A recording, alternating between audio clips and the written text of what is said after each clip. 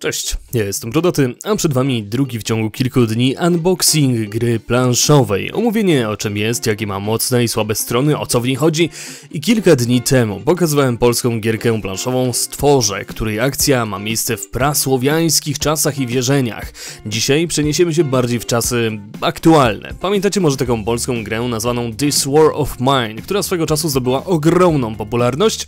No od jakiegoś czasu mamy dostępną grę planszową w tym stylu również po polsku, którą można rozegrać sobie ze znajomymi. Przed Wami lekki unboxing, prezentacja zawartości, opis tego o co w niej chodzi i jak wygląda sama rozgrywka. Tradycyjnie lubię sobie wąchnąć zapach świeżego druku wprost z zafoliowanej paczki. To jest coś wspaniałego, kiedy pierwszy raz otwieramy czy to książkę, czy grę planszową i czuć ten zapach druku. Po otworzeniu matowego, co ważne właśnie matowego pudełka, znajdziemy tam książkę skryptów. Z początku myślałem, że to nie wiem, księga zasad, tylko tak po prostu nazwana, ale troszkę dziwna, bo no jest bardzo gruba. Fakt, na początku mamy listę zasad, ale ta potężna książka nie opisuje nam przez kilkadziesiąt stron, jak mamy grać w This War of Mine. Rozgrywka toczy się tutaj do sześciu graczy, którzy nie konkurują między sobą, tylko współpracują. W środku jest jeden z najlepszych pomysłów, jakie spotkałem ostatnio w grach planszowych. Na każdej stronie mamy podane kilkanaście scenariuszy opisu tego, co dzieje się w grze. Autorzy zalecają najpierw zapoznać się z pierwszą stroną, bo nie zawsze wszystkie wydarzenia będą dokładnie książkowe i skryptowe i część trzeba troszeczkę interpretować inaczej albo wręcz improwizować, ale można się mm, sztywno otrzymać tej księgi skryptów. Jest też sugestia, by pierwsze gry zagrać we dwoje albo we czworo, niż od razu w szóstkę z niedoświadczonymi graczami, bo ciągłe zaglądanie do księgi skryptów może być na początku troszeczkę rozciągające całą zabawę. Jest też sugestia, by nie wszystkie skrypty czytać od razu na głos, chociaż w mojej ocenie to w sumie zależy od graczy. Skrypty napisane są tak klimatycznie opisują sytuację, że można zbudować mega nastrój. O co w nich chodzi? Blisko 2000 skryptów to wydarzenia, gdzie bohaterowie przykładowo napotykają kogoś, kto siedzi w fotelu, ale nie dostrzegają jego pełnej sylwetki. Nie wiemy, czy ta osoba może śpi, czy w ogóle żyje. Obok na stole leży pistolet. I mamy trzy opcje wyboru, które prowadzą do kolejnych skryptów lub do rozwiązania sytuacji, albo też do losowania kośćmi lub e, z góry nałożenia jakichś efektów na postacie. Genialna sprawa, po prostu genialna, kiedy ilość możliwych wydarzeń jest tutaj najzwyczajniej w przytłaczająca. Nie wiem ile gier trzeba by było rozegrać, by pamiętać wszystkie wydarzenia, jakie nas czekają. Wiele gier bazuje na wyobraźni, ale dzięki opisom sytuacji, jakie mają miejsce, ta gra planszowa po prostu pod tym względem wymiata. Kolejna sprawa e, w pudełku to dziennik. To swego rodzaju wstępniak mówiący nam, że każdy dzień ma 7 faz, jakie należy wykonać, co w sumie propsuje to to, że dziennik omawia nam jak rozłożyć elementy w bardzo, bardzo przystępny, graficzny sposób. Wiele gier planszowych na początku tylko opisuje co gdzie mamy położyć, tutaj jest to bardzo fajnie narysowane. Pierwsza rozgrywka, jaką przejdziemy mm, w ten sposób za pomocą dziennika, dodatkowo nauczy nas jak wygląda cykl dnia. Odkrywamy też funkcję lidera, gracza, który aktualnie trzyma dziennik oraz to, że gracze nie mają swoich postaci przypisanych jako tako do siebie, chociaż tutaj można się, wiecie, dogadać, stworzyć własną troszeczkę minimalną zasadę, że jeden gracz odpowiada za jedną postać, ale no nie możemy mieć tylu postaci, ilu mamy graczy, więc no gracze po prostu tutaj współpracują, żeby wszyscy przeżyli. E, również gracze decydują o przeżyciu całej grupy, a nie tylko swojej postaci właśnie osobno. Kolejna sprawa to trochę z, e, jakby takich arkuszy archiwów pod nasze notatki dotyczące sytuacji w grze. Często wiele rzeczy trzeba pamiętać, tak? Statystyki naszej postaci, uszkodzenia, jakieś problemy fizyczne. Możemy mm, po tym pisać, po tych arkuszach zaznaczać, ma to jednak istotną rolę właśnie z księgą skryptów i spokojnie możemy sobie na użytek własny te arkusze mm, archiwów kserować lub pobrać z sieci czyste do wydrukowania. Będziemy na nich pisać, będą wykorzystywane, więc no z czasami się mogą zużyć. Znajdziemy też dwa woreczki strunowe. Kolejna sprawa to arkusz scenariuszy, dwustronny opisujący jak działa mechanika gry w przypadku scenariusza Ostatni Dzień albo Wiecznej Nocy. Oba mają inne cele i dają nam inne profity. W jednym przykładowo e, przeżyć musi jeden w miarę zdrowy bohater gry i stabilny powiedzmy emocjonalnie przy okazji, a w innym scenariuszu już musi prze muszą przeżyć, przeżyć wszyscy. Dodatkowo tam na przykład mamy rower albo inne elementy mechaniki. Następna sprawa, jaką znajdziemy w pudełku, to jedna z kilku płyt żetonów. Łącznie jest ich 186. Całkiem całkiem sporo. To m.in. przedmioty, jakie nasze postacie będą miały oraz y, jakie znajdą, np. konserwy, kawa, papierosy, broń, wytrychy, leki, ale też oznaczenia na postacie, np. chłód, jak bardzo są głodni, zmęczeni, chorzy albo pogrążeni w depresji. Takim malutkim plusikiem jest fakt, że karty tych żetonów są prawie tak duże jak samo pudełko, ale mają takie malutkie nacięcie ułatwiające wyciągnięcie te, tych kart z pudełka. Na trzeciej planszy znajdziemy też puste żetony, takie po prostu puste, na których nie ma żadnej treści. Ich nie wyrzucamy, to nie jest wypełnienie em, tej planszy, a element gry.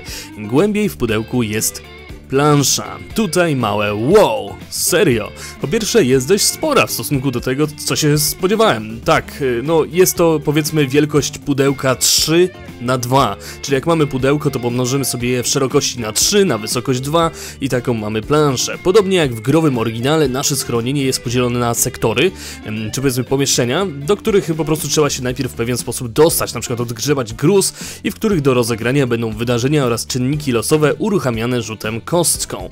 Plansza jest też, co ważne, dwustronna. Obie plansze różnią się praktycznie wszystkim pod względem mechaniki, czy tego, jak e, zrobione jest nasze schronienie.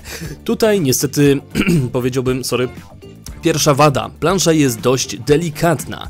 Mimo, że jest z grubej tektury, rozkładając ją trzeba uważać, bo można nawet lekkim ruchem, e, gdzieś po prostu rozkładając tą planszę, oderwać kawałek tego nadruku.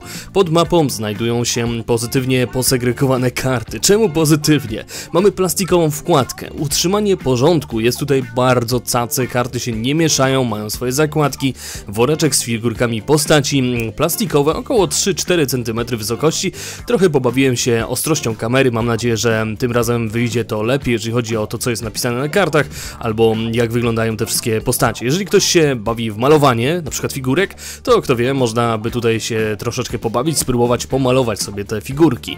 Mamy cztery kości, 3K6 służące do losowania efektów wydarzeń lub starć oraz 1K10. Dalej znajdujemy talię. Doceniam wcięcia w plastikowej wkładce segregującej, ułatwiające wyjmowanie tych deków kart. 14 kart mieszkańców, czyli wydarzeń związanych z innymi ludźmi, nie tylko pozytywnymi, ale też negatywnymi. 18 kart miejsc, jakie napotykamy, które opisują możliwe znalezione rzeczy, czasami scenariusze oraz połączenia z innymi miejscami. 12 kart wydarzeń, przykładowo spokój, taka karta. Jeżeli mamy przynajmniej jedną zadyskowaną przejście okna, tak, to pomijamy kartę intruzów w danej turze. Wystarczy, że raz użyliśmy desek na oknach i po prostu intruzi w następnej turze już nas nie atakują, pomijamy ich ym, ruch w sekwencji tego dnia. Trzy karty kończące i trzy karty rozdziałów. Kolejna paczka to 10 kart intruzów w sytuacji, kiedy jesteśmy atakowani, ale nie tylko, bo może nikt nas nie zaatakować, ale zgodnie z kartą jeden z naszych ludzi na warcie zaczyna się zastanawiać nad sensem tego wszystkiego, tej wojny i może dostać silnej depresji. 10 kart akcji specjalnych, 5 kart kolorów to jakby symulacja tego, jak bardzo hardkorowe akcje mogą się tutaj zdarzyć. Jeżeli mamy na przykład e, kartę koloru czerwonego, no to na przykład jest coś, co może sprawić, że jeden z naszych po prostu w ogóle nie przeżyje. 20 kart budowy. Podobnie jak w oryginalnej komputerowej grze, będziemy tutaj na planszy naszego e, budynku schronienia budować obiekty używalne przez postacie w odpowiednich turach, na przykład łóżka czy prowizoryczne kuchenki. I jeżeli w odpowiedniej turze zdecydujemy się posłać jakąś postać, żeby odpoczyła w łóżku, zdejmujemy wtedy na przykład z niej żeton zmęczenia. W pewnej mierze cały crafting przeniesiono tutaj do gry planszowej, bo też korzystając ze znalezionych itemów, możemy na przykład zaparzyć kawę. I kolejna sprawa to właśnie woreczek z surowcami, fajnie wykonane. Nie są to takie, wiecie, zwykłe mm, kartonowe żetoniki, coś w tym stylu, tylko przykładowo części mechaniczne to takie trybiki faktycznie, a drewno to takie stylizowane belki. Fajnie to wygląda, klimatycznie zrobione. Następna paczuszka to karty postaci. Druga niesamowicie duża zaleta tej planszówki, 12 kart, gdzie każda jest unikalna. Borys. Dla przykładu zmęczenie powoduje depresję, ale może nosić dużo więcej rzeczy. Jest palaczem, tak więc no bez papierosu się u niego nie obejdzie, ale za to wiele wytrzyma. Jeżeli jest ranny, to obniżamy z góry jego ranę o 1, przez co jest w stanie dużo więcej wytrzymać, czy powiedzmy jeden kanterek więcej. Następnie 26 kart przeszukiwań. Kolejny intrygujący element rozgrywki, mający różne efekty w zależności od tego, jaką kartę dobierzemy i jaki efekt losowy otrzymamy. Część poszukiwań ma oznaczenie prywatne, podobnie jak w oryginale gry możemy coś ukraść, co może źle wpłynąć w przypadku nakrycia oraz efekt hałasu, jeżeli coś szperamy. Dalej 5 pustych kart, o których mówiłem wcześniej, one są ze sobą mechanicznie powiązane i 7 kart losu. Ostatni pakuneczek zawiera karty znalezisk oraz elementy tego, co znajduje się w lokacji, na przykład gruzu, tak, karta gruzu, e, jakkolwiek to brzmi, oczywiście przeszkody w naszym e, schronieniu, którą musimy usunąć, żeby móc coś tam postawić, karty celi, rozdziałów oraz karty przybyszów. Podobnie jak w oryginale do naszego schronienia mogą zapukać przybysze oferujący handel lub chcący do nas dołączyć, kiedy nie mamy pełnej grupy bohaterów. No i cóż, finalnie powiem tak, e, bo materiał ciągnie się już troszeczkę jak gumka, z gaci ma ponad 10 minut. This War of Mine spowodował, że opóźniłem ostatnio materiały na YouTubie. Miało być kilka gier, recenzji, wrażeń, a nie ma. Dlaczego? Bo wiele osób poleciło mi zakup tej planszówki, no i moi drodzy mieli cholernie wielką rację. Zagrałem około 7-8 gier w ciągu dwóch dni i śmiem sądzić, że jest to jedna z najlepszych gierek planszowych, w jakie grałem w ostatnim czasie. Czy ktoś mi za takie słowa posmarował? Nie, niestety nie znam żadnego programu partnerskiego bazującego na planszówkach.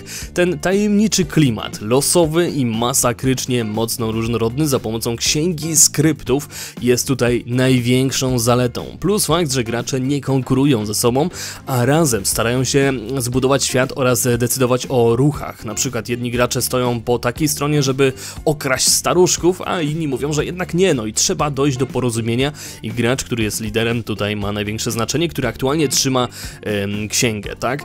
This War of Mine nie bazuje na konkurowaniu. Jedyną wadą, jaką znalazłem to ta plansza, która w mojej ocenie mimo jej zajebistości graficznej może ulec łatwemu uszkodzeniu przy rozkładaniu, kiedy po prostu te karty, e, części tej, tej planszy są ciężkie dość, no i możemy przez przypadek oderwać kawałek kartonika, który jest do tego przyklejony. Na razie z planszówek na kanale to w sumie tyle, może za miesiąc pojawi się jakaś kolejna planszówka. Miałem okazję zakupić po prostu wspólnie z innymi te dwie planszówki, więc czemu by ich po prostu od razu nie opisać na kanale, skoro są to gry, prawda? Na koniec tradycyjna scenka końcowa, dwa inne materiały po prawej stronie ekranu, na górze najnowszy jaki teraz znajduje się na kanale, a pod nim inny sugerowany przez YouTube'a. Może pojawi się tam materiał o grze planszowej Stworze. Po lewej stronie opcja pozostawienia subskrypcji tego kanału, jeżeli komuś takie materiały się spodobają. Tyle.